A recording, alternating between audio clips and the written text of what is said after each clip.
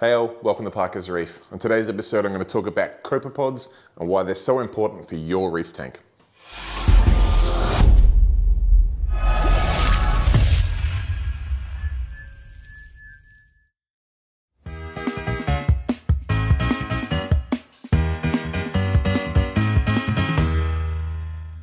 Right, guys, thank you for joining me on yet another episode of my dream reef tank build. I'm gonna start off by saying it feels a little bit weird filming this. It's quite late at night.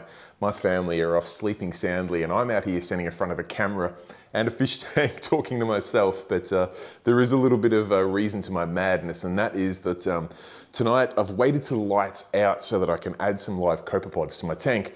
And I figured I should take you guys through the process of one, adding them to the tank, and also discussing why I believe they're such an important element to every reef tank. Okay, so as people know that have been watching this channel, this tank was started off with dry sand and artificial rock. Now, I've done as much as I possibly can to bring in as healthy a biodiversity as possible into this reef tank by uh, running some pre-seeded media from my other tanks, using uh, water from water changes out of my old tanks, bringing in uh, some bacterial supplements, adding a little bit of live rock into my uh, sump to make sure that all the beneficial things can come out of that live rock, and even some things like uh, Aquaforest Life Source, a nice uh, nutrient, uh, well not so much nutrient, biodiversity rich um, mud material which uh, just adds all sorts of microfauna to your tank. Now, as good as that is, I still feel like I'm missing one element, and that is uh, what I believe will hopefully be addressed by copepods. And uh, these little guys, I picked these up today from my local fish shop from uh, Coral Creatures.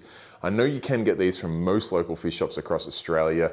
If you can't, you can also jump on their website and I'll pop the details down below so you can actually order them to get delivered straight to your door. However, if your local fish shop isn't carrying this stuff yet, you need to tell them to get in touch with Coral Creatures because they carry a great range of uh, brine, copepods, phytoplankton, and today they even brought in some uh, captive bred peppermint shrimp, which were really, really cool.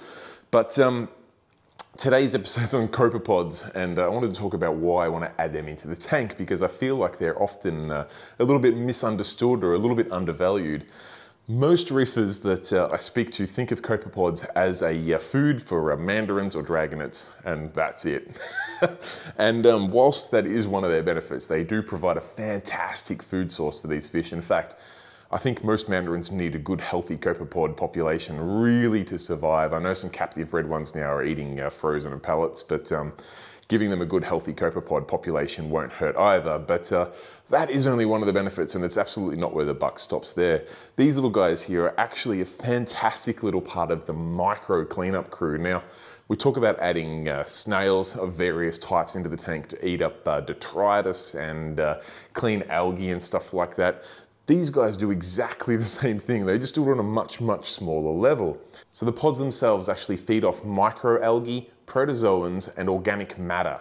Now, because they're so small, they're obviously eating this at a micro level, and it's not something you can really address with any other source. So copepods play, play this vital role between uh, your bacterial size type of uh, organism and then your uh, smaller fish and uh, cleanup crew organism, you've got to have something in that gap, and that's where copepods fit in perfectly.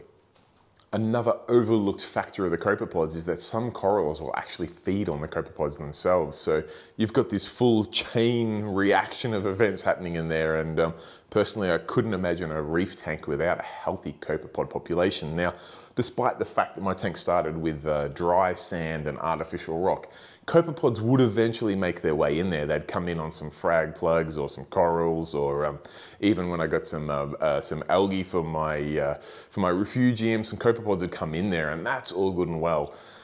I want to add as many as I can and get that population in there and uh, thriving and uh, uh, breeding and doing their thing before getting just the little odds and ends in on some frags. So I picked up this here 500ml bottle of uh, live copepods from uh, my local fish shop today from Coral Creatures. I'll get some close-up footage of this bottle. It's, it's unlike anything else. I know um, we're probably spoiled here. I've seen some video of um, copepods in uh, bottles overseas, and I'm sorry, um, you guys in America, hopefully your uh, copepod suppliers are a lot better now, but um, this thing is teeming with copepods, um, and they are all well and truly big enough to see with the naked eye. You don't need to put these things under a microscope. They're, it's packed full of life. Now you're probably not going to see it from there, but um, I'll get a close up and you can have a good look there. Now, the next thing we need to do is add these into the tank and uh, that's the main reason why I'm filming quite late at night. I wanted to make sure the um, lights were off. You want to make sure that you've already fed the fish so that uh, they're not just going to eat every copepod in there. That being said, there's hundreds, if not hundreds, and well, there's thousands, if not tens of thousands of copepods in this bottle, so I'd be surprised if they did eat them all. But I want to give these guys a fighting chance. So the fish have been fed, the lights are off. The last thing I'm going to do is actually get a little bit of PVC pipe um, just to make sure that I can put this down onto the sand, give the copepods a chance to get right down onto the substrate so they can start uh, colonizing that without uh, just floating around in the water column and finding their way into my uh, filter roller and um, basically living their life down there. I want to get these guys into the display tank and I want them to settle in there. So I might even turn a little bit of flow off. Um, I'm sure they'll probably be fine, but it can't hurt. I'll put the pumps on uh, feed mode. I'll get the pipe, we'll pour them in, job done. All right, that's probably enough close-ups of the uh, uh, population density of these uh, copepods and just how active they are. If you couldn't see these little bugs uh, crawling around in there, you're gonna need thicker glasses than I've got because um, this bottle is jam-packed with them and it's fresh from uh, being aquacultured and uh, caught today. So I'm super lucky to have close access to these things, but um, that being said, I know the quality of uh, Coral Creatures products, and I'm sure if you had to get them overnighted to you, they're going to hold up just fine. But um, anyway, I've got my uh, PVC pipe. I've popped it down into the sand bed there.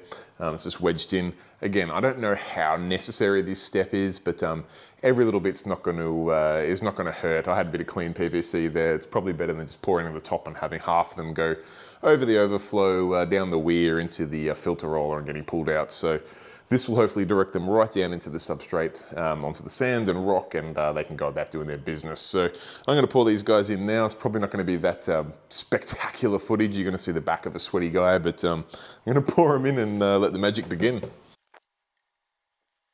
Like I said, riveting footage. All right, now I've poured them all in. Now, one last tip rather than just turfing this bottle or uh, putting it aside, it's worth giving this a little bit of a dip.